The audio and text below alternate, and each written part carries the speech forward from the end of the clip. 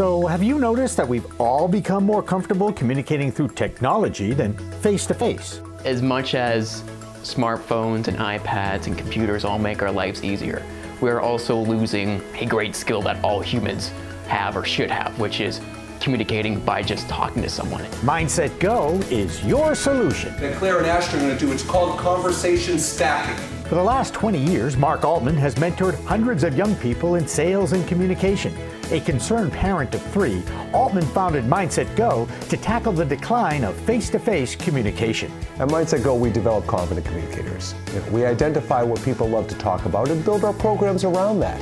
At the end of the day, what we're trying to do is we're trying to build self esteem, we're trying to build confidence, and we're trying to provide our trainees vital communication and life skills.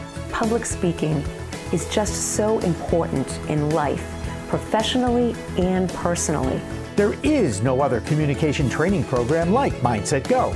Our trainees' newfound confidence makes them more comfortable talking to adults while differentiating themselves from their peers. So change your child's life now by taking the first step to becoming a confident communicator and sign up at mindsetgo.com.